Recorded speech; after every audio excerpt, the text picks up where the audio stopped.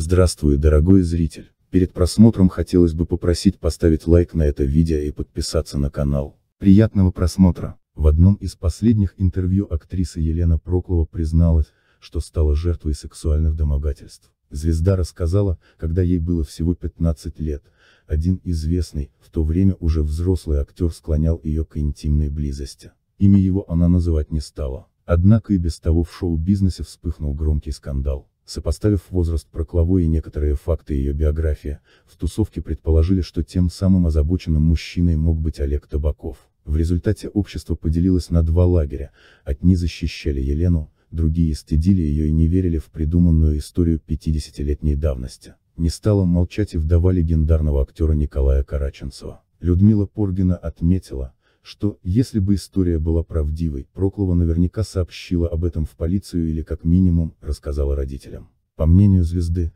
жаловаться на то, что было полвека назад, глупо и просто бессмысленно. Это все не имеет к творчеству никакого отношения. Интересен только творческий путь артиста, а подобные тенденции, обсуждать личную жизнь, пришли с Запада. Это пошло и несерьезно. А еще стало модно заявлять об этом, когда людей уже нет.